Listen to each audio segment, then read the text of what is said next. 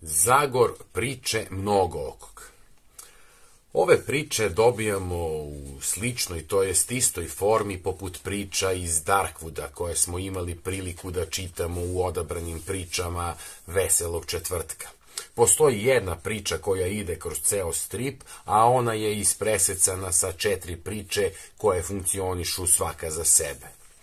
Ta priča koja čini glavni tok je u stvari po broju stranica najkraća, ukupno ima oko 30 stranica, a ove četiri priče imaju po 40 stranica. U toj priči koja otvara ovo izdanje glavnu reč vodi vrač mnogooki, koga svi ljubitelji Zagora vrlo dobro znaju. On će sa grupom indijanske dece, usled jakog nevremena i obilne kiše, biti zarobljen u jednoj pećini. Da deci ne bi bilo dosadno i da ne bi postala nervozna, mnogoki će im pričati doživljaje duha sa sekirom.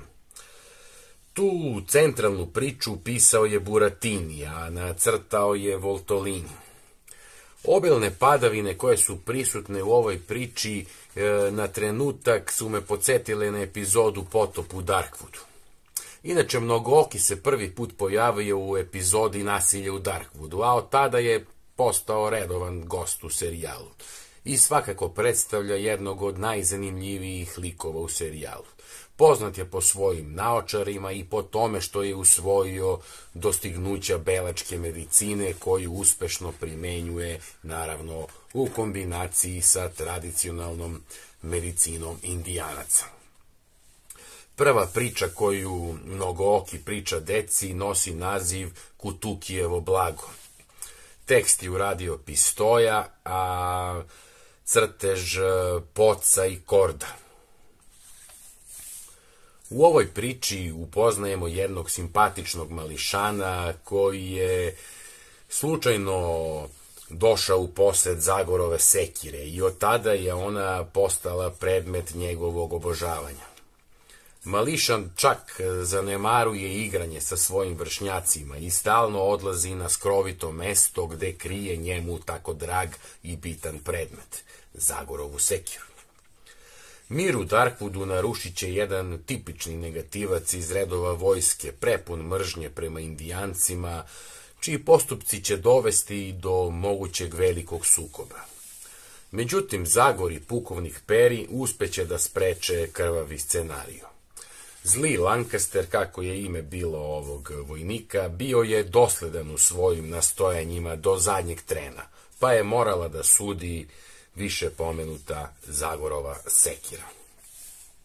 Crtež je sasvim solidan. Iskren da budem povremeno mi odgovaraju gostovanja tih nekih crtača koji nisu toliko prisutni na Zagorovom serijalu, onako prije mi ta, ta promena. E sad samo je bitno da, da, i, da u, u scenarističkom smislu priče budu na određenom nivou po završetku ove priče, dakle, ponovo se vraćamo na, na mnogookog i na, i na kišu, zatim sledi opet nova priča koju on priča deci. Naslov ove naredne priče nosi naziv e, Zaraza, napisao je Farači, a nacrtao Venturi. Pravo nijotkuda u Darkwoodu se pojavio izvesni doktor e, Raker u pratnji trojice pomoćnika.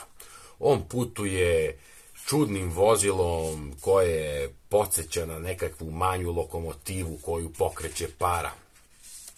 Njegova misija je suluda i monstruozna. I izumeo je neku vrstu otrova pomoću kojeg širi zarazu, a njemu, cilj mu je da istrebi sve, indi, sve indijance. Otrov prska iz nekakvog topa koji se nalazi na vrhu pomenutog vozila. I ko zna kakve bi posljedice njegova misija proizvela da nije naišao na Zagor. Vozilo koje pokreće para je inače, je inače potpuno u steampunk fazonu i to je koliko znam prvi put da imamo priču o Zagoru koja je kao što rekoh u steampunk fazonu. Jedan od doktorovih e, pomoćnika takođe posjeduje ogromnu metalnu pesnicu koju lansira velikom brzinom ka protivniku. Još jedan detalj koji spada u steampunk svet.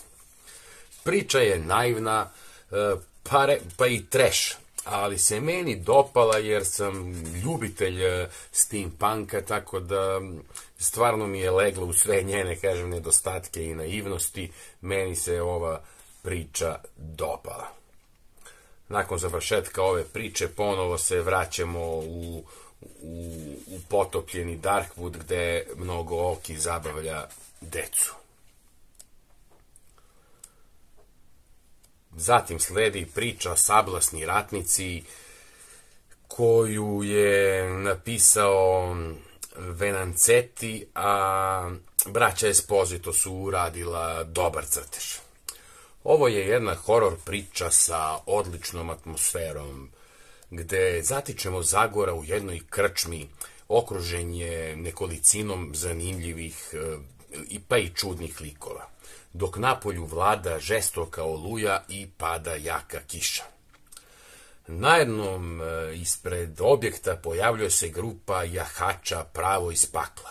Oni su došli da odvedu crne duše, došli su po nekoga ko je veoma zgrešio.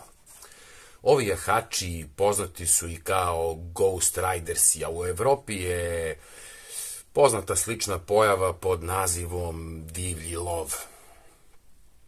Solina je jedna priča, kažem pre svega dobrog crteža sa dobrom atmosferom i sa jednim neočekivanim krajem. Po završetku ove priče ponovo se vraćamo u u Darku gde pratimo e, na par stranica situaciju sa mnogookim, deca su pospavala, a mnogooki će ispričati jednu priču onako sam za sebe, za koju kaže da je e, previše možda i strašno da bi je deca slušala.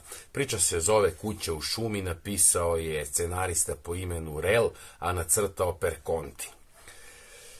Zagor i Čiko su zalutali, uhvatila ih je snežna vejavica i dolaze do jedne udaljene kuće gde ih e, prima gospođa u godinama. Ispostavit će se da je gospođa e, kanibal, jednostavno ona čuva jednog e, mentalno poremećenog sina i jednostavno od smrti njenog muža oni nisu u mogućnosti da da uhvate bilo kakvu životinju i zato pribegavaju ubistvima prolaznika. Priča ima e, dobru atmosferu, mračnu, ali nisam oduševljen, ona mi se i najmanje dopala, jednostavno pojava kanibalizma je po meni moguća samo tamo gde ne postoji nikakva druga alternativa.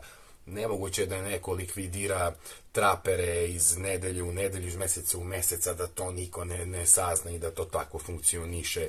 Tako da mi je malo malo preterano to sa te strane, tako da kažem nisam baš oduševljen, crtež mi se i ovde dopao, rekoh i atmosfera, ali kažem ova priča sa majkom i poremećenim sinom ljudožderima nije mi, nije mi ta ideja legla, više onako Dilan Dogost, Dogosta. Ne smeta mi sama ideja kao ideja, ali kažem nekako mi je to sve malo e, preterano. Za kraj još jednom ćemo se vratiti kod e, mnogo okog, e, naravno deca su spašena iz pećine, kiša je, je prestala i sve se srećno završilo, na kraju vidimo i Tonku koji je se tu pojavio sa, sa svojim saplemenicima.